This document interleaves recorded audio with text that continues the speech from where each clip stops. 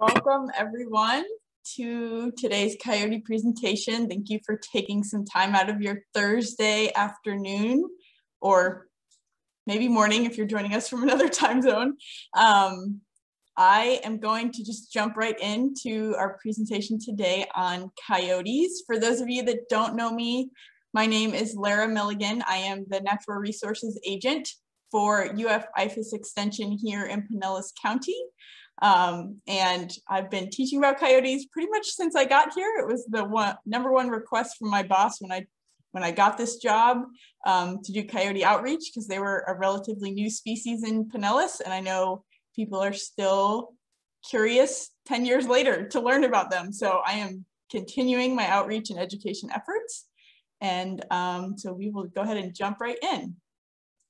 So for today's presentation, this is what I'm going to be going over, just uh, a brief history about the coyote, some, well, I usually say basic biology, but we kind of go into a lot of details about the biology about coyotes, conflicts as it relates to coyotes, and then how we can learn to coexist with them.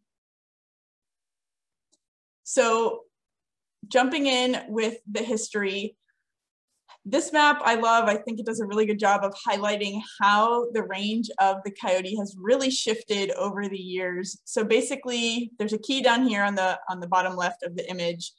But basically the darker the orange, the more historical the range. So coyotes were historically found kind of in the cent central Midwestern United States. And then they slowly began their range expansion up to the Northwest um, and then a little bit to the Northeast and then most recently, they expanded their range into this eastern portion of the United States and, and down south as well. So I'm assuming your next question would be, well, how did they do that and why did they do that? And there's a few factors um, that played a role in that. One big piece was the eradication of one of their major competitors or someone that's filling a similar niche, and that is the eradication of the wolves. So wolves were a huge threat to um, agricultural, those doing ranching and growing crops. And there were actually government programs back in the day. You can see an old image here that where people were paid to eradicate wolves. And so as the wolf populations decreased, that presented a great opportunity for coyotes to come in and fill that niche. So, and, and also obviously less competition for the coyotes as well. Furthermore, as we were developing right throughout that time as well, and so these kind of forested landscapes were being transitioned, whether it was into ag lands or you know more kind of urbanized areas more recently, the open landscapes are actually more preferred by coyotes. And I am going to poll you guys um, to see how many of you guys have seen a coyote. But I would be willing to bet for those of you that have seen a coyote, it was most likely in an open landscape like a golf course or a cemetery. On top of that, coyotes are really, really able to adapt because they do not have a specific diet. They eat pretty much anything they come across if they're hungry. Um, they're not strictly carnivores. They eat um, fruits as well, which actually make up a decent portion of their diet.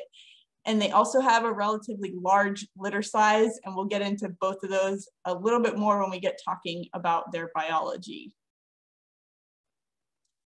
So I will try and keep it, I should have mentioned this at the beginning, um, somewhat interactive, just I know it's hard to stay focused on virtual learning platforms. So using the chat feature on the bottom of your screen, there should be a little um, like communication bubble icon that says chat. If you click on that, it'll open up a chat window.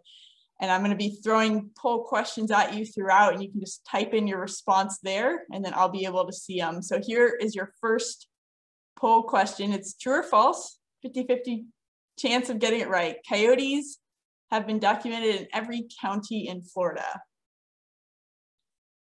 I see lots of trues coming in. You guys are good with the chat. Wow, lots of responses and lots of smart people. so yes, this is true. And unfortunately uh, for us here in Florida, there isn't really a statewide effort looking at or doing much coyote research, but we were able to look at several different studies to ultimately indicate or prove that there are coyotes now documented in every single county in the state. So there should also be a little raise hand icon at the bottom of your screen. You could also just type in the chat if you prefer, but how many of you guys have seen a coyote either in Pinellas County or in Florida, anywhere in Florida? You can either raise your hand or type in the chat.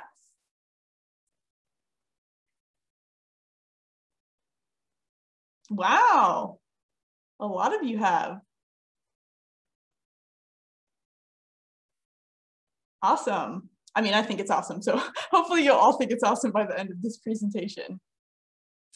And if you haven't seen one, um, you know, it's probably honestly only a matter of time and probably after this presentation, you might have a better idea of where to go if you do want to see a coyote. So we'll get into a little bit, or like I, I mentioned before, maybe a little, a lot about coyote biology, starting off with their diet I alluded to this before about them having a really non-specific diet. So they are considered omnivores. This is kind of in the order in which like small mammals would be make up the largest portion of their diet. So small mammals, things like squirrels and rabbits make up uh, the most of their diet, followed by fruit. And surprisingly, insects makes up a decent portion of their diet as well. They will even eat carrion or dead animals if they come across it and they're hungry. And then in more urban areas, AKA Pinellas County, garbage and pet food also will make up larger portions of their diet. And I was, um, I always like to just check, look into the latest research before I do presentations to see if there's anything new to share. But um, one of the studies that I was looking at did make the correlation that coyotes whose home range, which I'll talk about in a little bit, but basically the area in which they live, if it overlaps with an urban setting, then their diet does tend to be made up of more um, anthropogenic types of material. So it just shows the human influence on their diet. Um, there was no negative association with that, but just saying like they do take advantage of urban food resources um, when it's presented to them.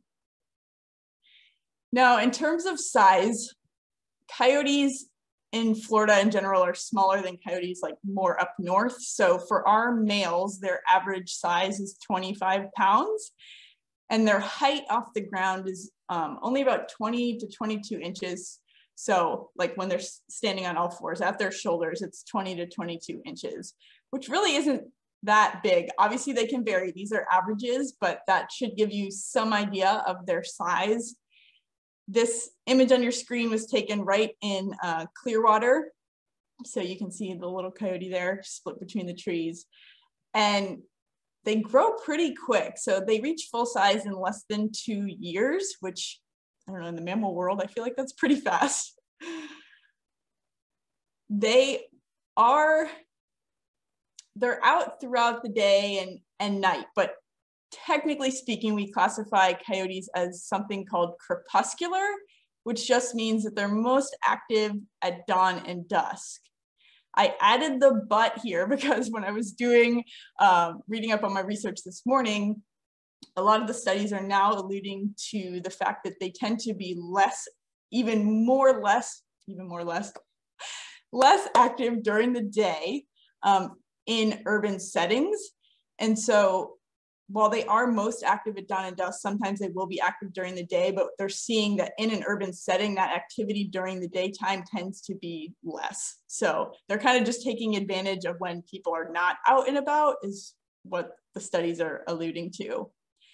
They are amazing hunters and survivors, which I've kind of been alluding to all along, but they're blessed with lots of good senses. Usually you don't get all of these, but they have really good eyesight, really good hearing, and really good sense of smell. The smell probably makes sense because they're related to dogs.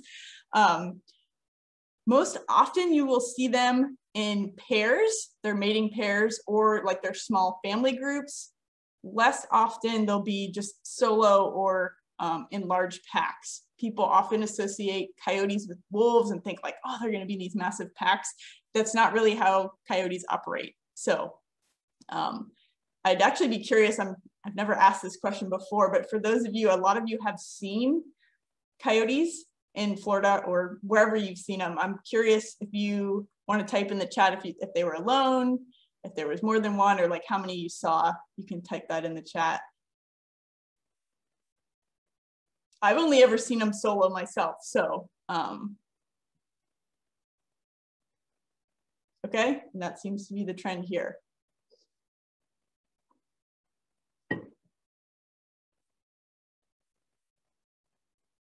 Awesome. And this is, I guess I should, I, I should specify, this is just how they operate. This isn't like based on people's sightings of them. So, you know, we might only see one at the time, but they're most likely or more often in a pair. We just only see the one. Ooh, Kathleen saw three or four. That's awesome. Okay.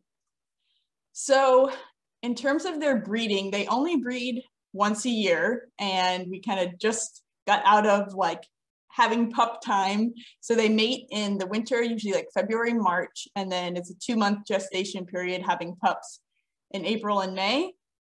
And then their litter size, I mentioned this before, they have a large litter size. On average, they have six pups.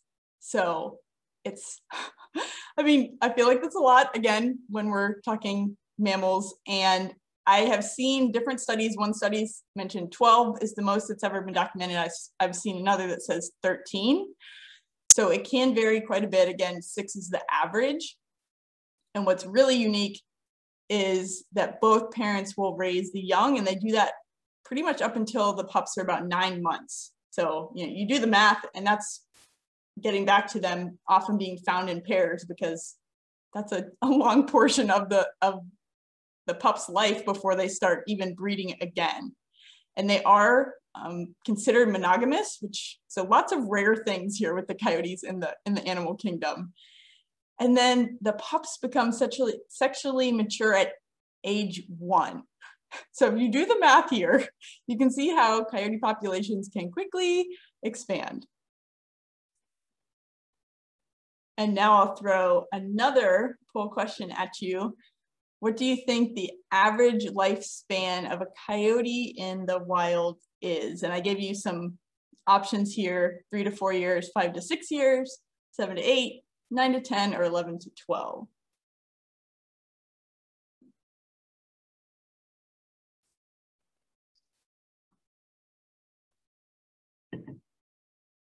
All right, we've got lots of variety of responses coming in.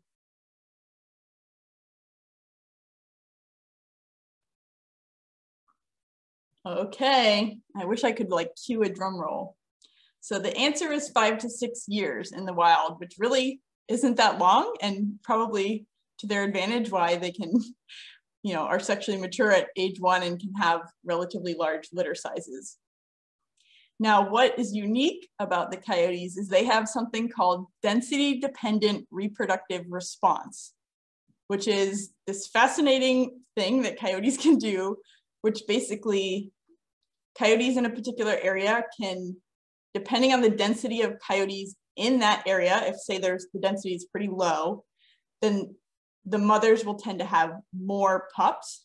And then if there's high density, the litter sizes will be smaller. This was really discovered when there were eradication efforts that went underway.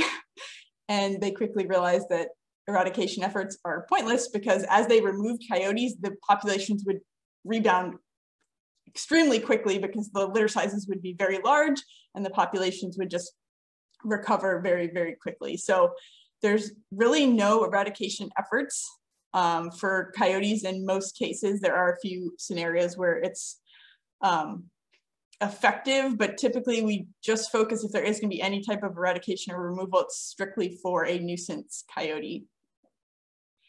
Now threats, I saw somebody put in here, um, they've seen coyotes dead on the road. And unfortunately, car strikes really with most wildlife species is one of the number one causes of deaths for coyotes. Hunting and trapping is also um, a threat to them. And then predation by larger carn carnivores in other parts of the state. We don't really, the larger carnivores, I guess if you want to classify us as a carnivore um, would be us, but um, yeah, car strikes and hunting and trapping otherwise. And then I mentioned before their lifespan five to six years. And I did, I just briefly glanced over the chat. I also failed to mention this at the beginning, but I will address all questions at the end. Julia, who's co-hosting this with me, will keep track of questions. Most preferred is if you click on the Q&A icon on the bottom of your screen, you can type in your question there. That just helps us track them a little better and it doesn't get lost in the chat. Um, but either way, we will hopefully address your questions at the end. I don't want you to think we're ignoring you. and then um, in terms of coyotes and where they live, you might have heard of coyote dens and they do utilize dens and they can vary quite a bit. They can use just kind of thickets of vegetation, hollowed out logs, trees tend to hollow out from the inside out, large brush piles if they're available, and then they will also take advantage and expand existing burrows of things like gopher tortoises or armadillos. now they don't use these dens year round. They're only used to raise their pups for a few weeks. So uh, if you happen to come across a den that you think might be a coyote, um, it doesn't necessarily mean that they are occupying and using it at that time. Now, there's been lots of studies looking at home range, and I might have to update this slide. I, I need to do some more digging into the research because it, anyway, I'll try and explain it as I go on. But generally speaking, so home range is the area or space that a coyote needs to find everything it needs to thrive and survive. So food, water, cover, shelter. In natural areas, what they're finding is that the home range is actually larger than it, coyotes that are living in urban areas. And you can, if you think about it more, it, kind of makes sense. When I first saw this statistic, when I started teaching about coyotes, I was like, oh, I, I would have thought it was the opposite. But if you think about, you know, especially now, you know, it's been pretty dry. So if, if, a coyote in the wild in a natural area wanted to find water, they might have to travel a significantly further distance than in an urban setting where we have, you know, in Pinellas County stormwater ponds like every five feet. um, you know, it's a lot easier to find the resources that they need in an urban setting. Now, the research that I was looking at this morning was alluding to the urban area range can vary quite significantly, just depending like how fragmented the, the landscape is. And, and that's, I need to dig into more to that um, to understand it more, but generally speaking, this is the trend that we are seeing. On the left here is just one snippet of research that we have in Florida. Again, there's not a lot, so I like to highlight what we do have. They did radio track, radio collared a coyote. This was a male and found that it traveled 40 miles and that's about all that we know. we don't know why. We don't know if this is what most juvenile males do, um, but just highlights that coyotes can travel significant distances. Okay, now we're gonna play a little highlights magazine game virtually.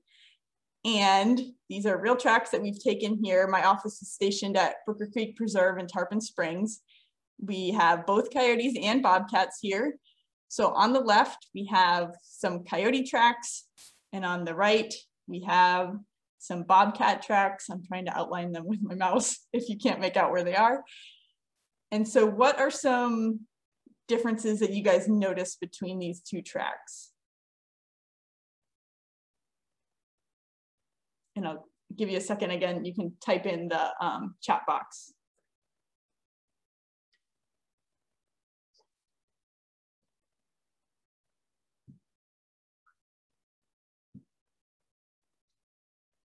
Okay, toes. Separated toes. Whoa, they're coming in fast now. nails, claws, nails. Toes are closer together on the coyote. And coyotes are more pointed. You guys are good. Yes. Okay, so yeah, you pretty much got them all. So for coyote tracks, one thing that we always look for are the claw marks, which you can see here and a little bit here.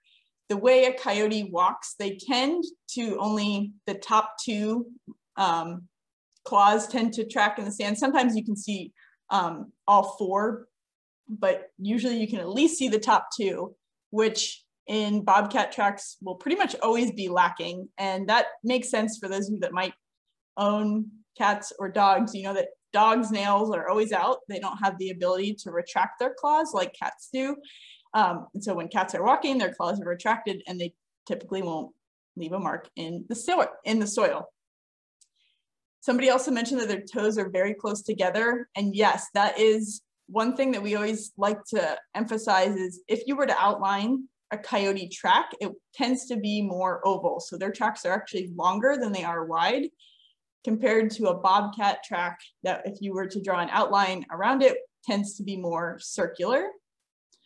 And I think those are the main things that were pointed out. There's lots of responses, which is great. So I'm trying to make sure I don't miss anything. Very good. So, and this just highlights that um, kind of oval shape a little bit more. This is now comparing a coyote to a domestic dog.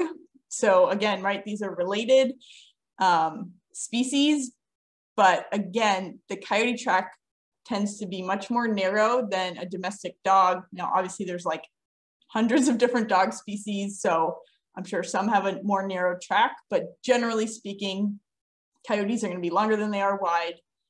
And one other thing is if you happen to have like a, a long set of tracks where you can see kind of how they've been moving and walking, coyotes are not gonna waste time they their paths are going to be very very straight. So their set of tracks will almost form a line if you were to connect the dots. Whereas a domestic dog if you think about dogs they're kind of just like well you know wander over here go over here. So their you know their paths are kind of going to be all over the place. So those are a couple things that you can look for. And then um, for those of you that do have dogs and get to pick up their poop, you know, hopefully it's not containing any hair in it, but that is one thing that tends to be quite obvious with coyote scat. And then I don't know whose job it was to go out and measure all of the coyote scat, but um, if you want to become a scatologist, I guess you, you could do this. the average length of coyote scat is determined to be four inches long. Now, their diet, I mentioned before, you know, they're omnivores, they eat a whole wide variety of things. And so their scat's gonna be quite variable depending on what it is that they're eating, similar to us, and I'll leave it at that. But um, this isn't like, this picture here isn't what it's always going to look like. I guess one other thing I'll say is in the wild, like if you take domestic dog out of the picture, probably the only other scat that would look similar to coyote scat is bobcat scat. And the way that we differentiate those two is that bobcat scat tends to be much more obviously segmented. And for those of you that have cats at home and clean out the litter box, you you know what I mean. Just the way that they deposit their scat makes it um, appear to be more segmented. Okay, and now we will jump into coyote conflicts. And we'll start off with another 50-50 true false. Coyotes cannot transmit diseases to humans, pets, or livestock. Look at you, you guys are fast on the chat.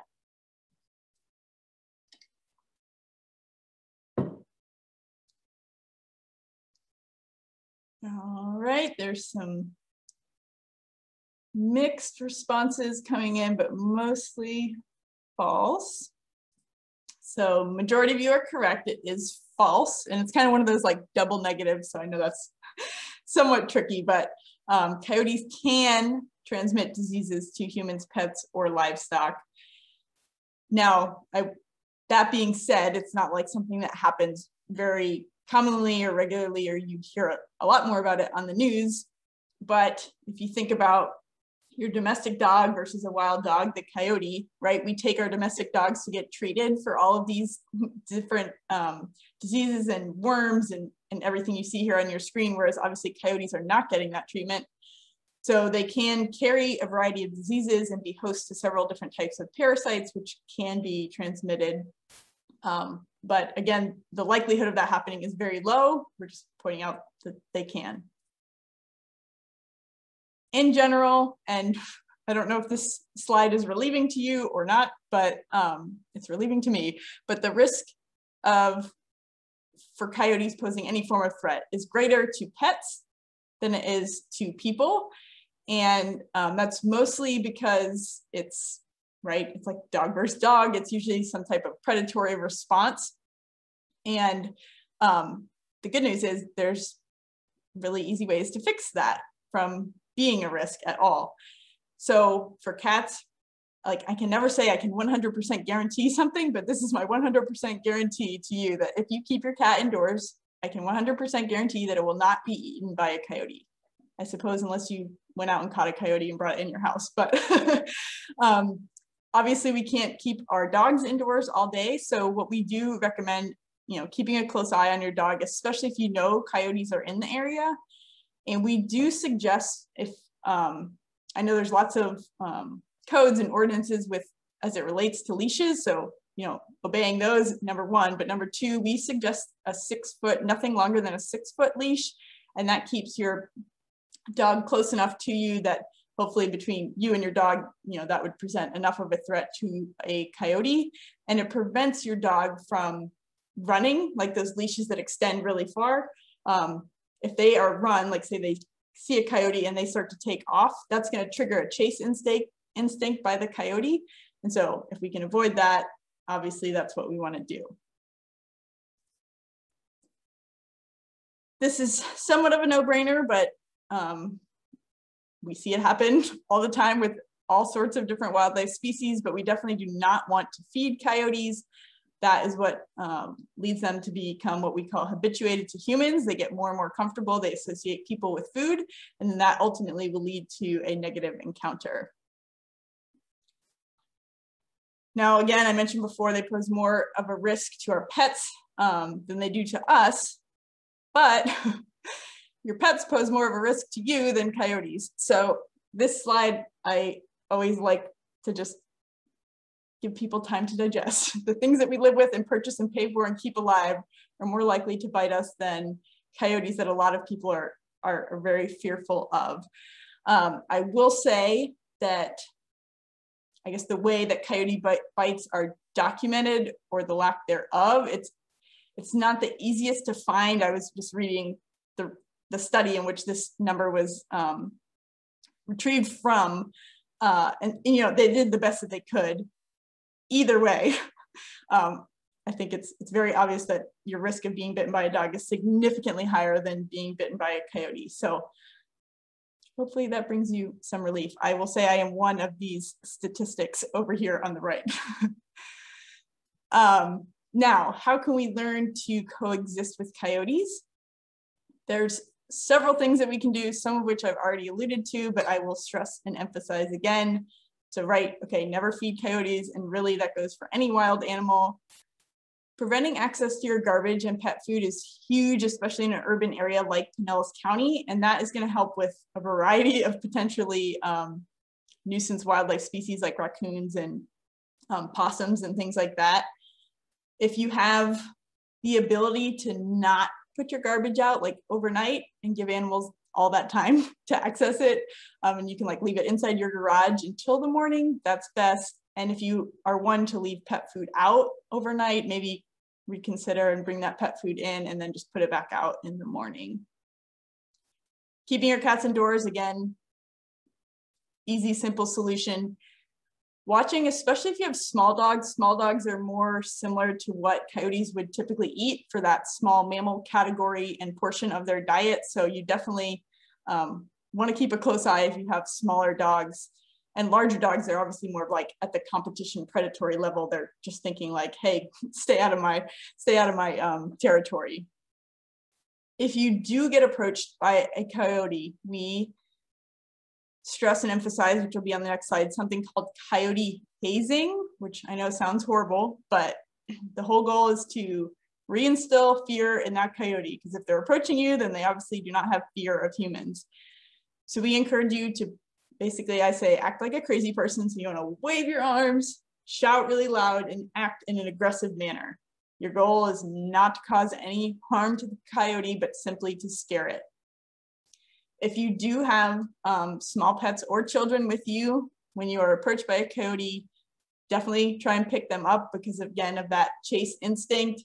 If your small child runs away or your small pet runs, that's going to trigger the coyote to chase. Not in all cases, but definitely something we want to avoid. now, this next point on here, crawl, closing off crawl spaces underneath your porches and sheds. Coyotes in urban areas will take advantage of those spaces for potential den sites. And some people might think that's cool. So you can, if you want to encourage coyotes to, you know, utilize a den underneath your porch or shed, then you don't have to do that. But if you're like, uh-uh, no way, I don't want coyotes anywhere near me, then you could consider closing off those spaces. Again, teaching your children or grandchildren not to run if they see a coyote. And then I always say this in all my programs, I am one person with a mission to educate a million people in Pinellas County, and I, there's just no way I can do that. So I need to rely on you to help me spread the word by sharing what you learned today. Now, this slide always like perks people up because some of these things sound extreme, but coyote hazing again is like a real thing. You can look it up and um, especially in areas where coyotes are a lot more prevalent than here in Florida. But these are some things that you can do if you know you have coyotes in the area or especially if you know you have coyotes that are like starting to get closer and closer to people. One thing you can do is to keep bear spray with you when you're out and about on a walk. They typically have like a little clip you can just put on your belt. Um, if you're out in your yard, you can use a hose or a water gun to spray water either at or toward the coyote. Water is not going to harm the coyote. Again, it's just to scare it off. Anything that makes a loud noise. I, I know you probably don't want to be that neighbor, but air horns, um, a whistle, you can make something called a coyote shaker, which is basically just taking any aluminum can and putting rocks or pennies in it. And that might surprise you how loud of a sound that that makes. It's a cheap and easy noise maker. Now these next few, throwing a stick or stone, a paintball gun, and the walking stick or golf club might be like, that sounds intense. Um, and it does, but again, I'm going to stress and emphasize our goal is never to harm a coyote. This is simply throwing an object toward the coyote to scare it off. We don't ever want to hit the coyote.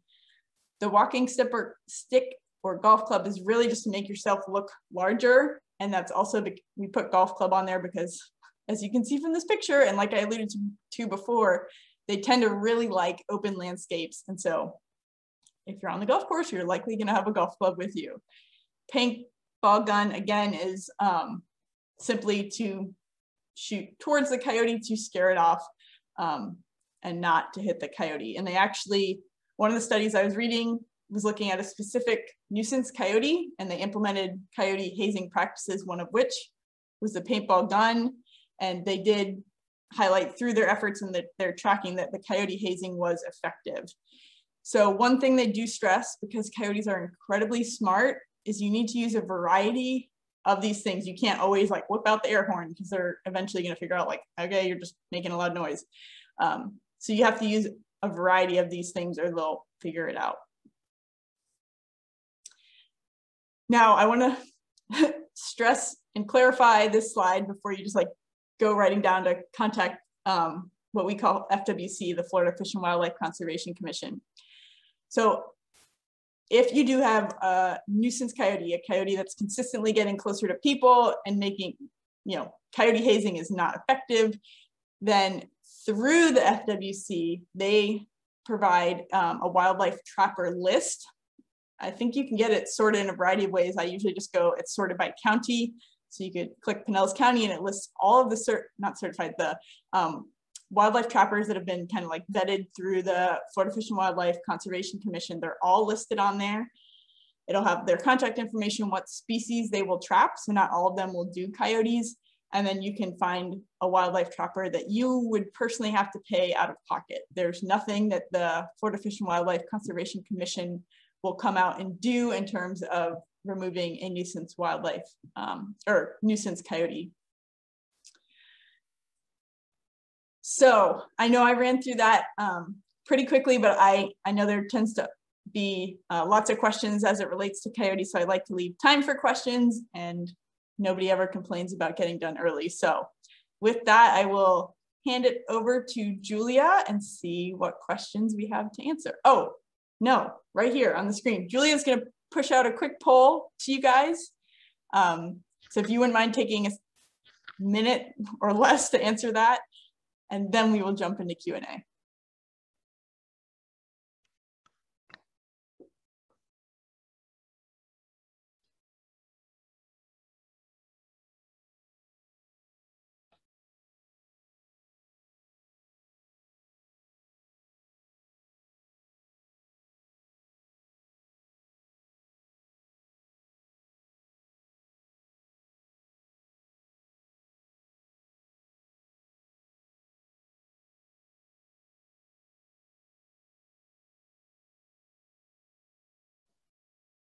Okay, we're gonna leave the poll up for about 30 more seconds and then we will get into Q&A. And if anyone has any questions, now is the time to put them in.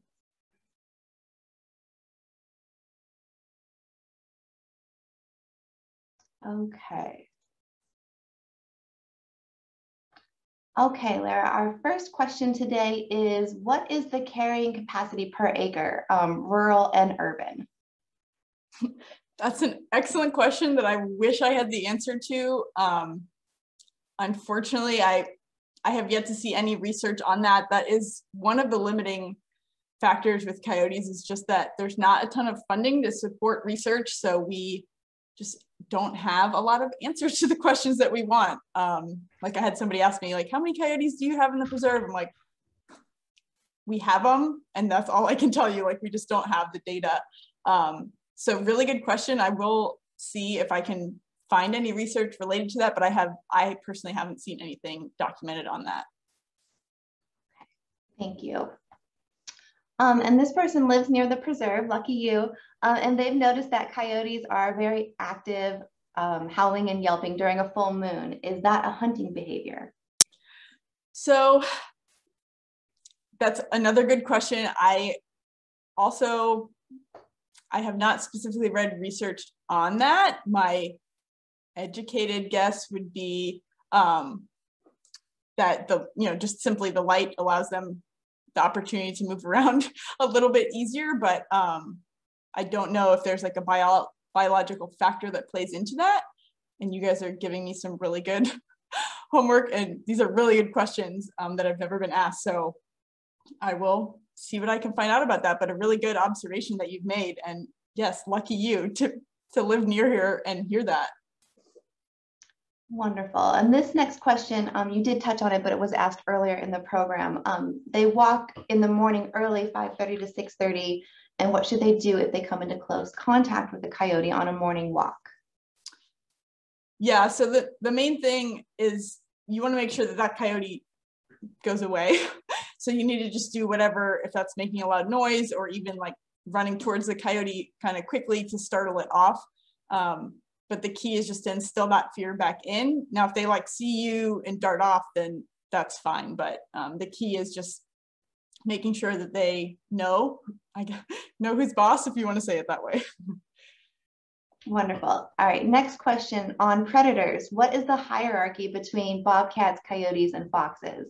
Um, this person has seen all three on their property next to the preserve. Good question.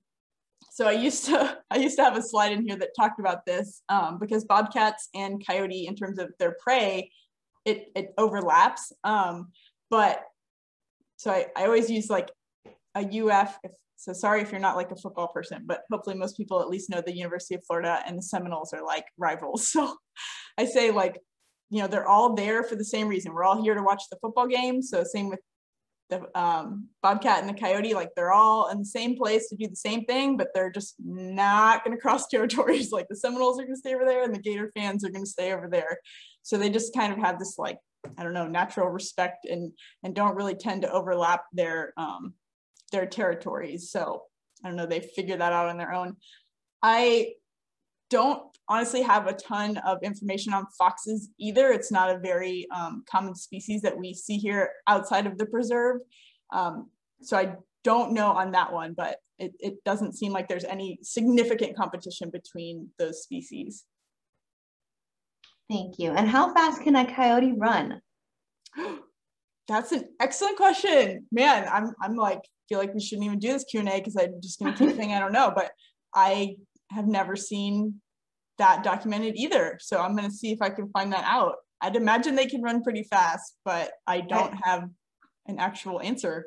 Google's first response said 35 to 43 miles an hour. So wow, pretty fast if that's correct. I we can yeah, send some follow-up information to everyone though on that. Yeah, yeah. Okay. And um, this person hears coyotes in the field by their house. Can they jump a four foot fence? Absolutely. I do know the answer to that one. Um, they can even jump a six foot fence. Really, in order to prevent a coyote from jumping over a fence, you'd have to have a significant, like, in addition to the vertical, you'd have to have a significant overhang as well, which just really isn't feasible for most people and definitely not aesthetically appealing to most people. So, um, yes, to answer your question. Wonderful. And do coyotes eat birds? Yes. Long story short, yeah, I know I didn't like specify that as one of the items um, in there, um, but they will take advantage of birds. Pretty much anything you know they're able to catch if they're hungry. So if there's especially like ground nesting birds, um, they will take advantage of them. I wouldn't say it's a significant portion of their diet or it's not very common, but they will. Okay. Are there any animals that prey on coyotes in this area? That's a great question. Um, my only, I could see a bobcat potentially going after a pup, but at like a mature coyote outside of humans, no. Awesome. Okay, and we are just down to our last couple questions. Um, do coyotes get rabies? Yes, so good question. They do and can um, carry and transmit rabies, and um, it's just not it's not a super common thing that we see, but they definitely can. Okay. Probably not try to scare that one off. um, and last question. Oh, two more. How long does a coyote live? Yeah, so the coyote in the wild, it's the average is five to six years. So not super long. And this is a little off topic, but a good question. What should someone do um, if they see a raccoon roaming around their home during the day? Should they contact somebody? So good question. So raccoons are also a species that has been able to adapt pretty well to living in an urban setting. Um, so there's no real call for concern if you see one out during the day. They've just they've learned somewhat opposite to coyotes is that like when people leave to go to work is their prime time to go explore your garbage can or see if you left pet food out. So they've just adapted um, to take advantage of that, and so it's not not a cause for concern if you see them out during the day. Wonderful. And um, that was it for the questions. There are a couple questions about being able to watch this presentation. It has been recorded um, and it will go on our YouTube channel. We have a YouTube playlist. It's uh, Brooker Creek Preserve and I can put that in the chat as well. And that is it for our questions. Awesome. Well, thank you guys so much for tuning in and I'm gonna go do some homework and uh, next coyote presentation, I'll add these in. So thank you guys for the great questions and I hope you guys have a great rest of your Thursday.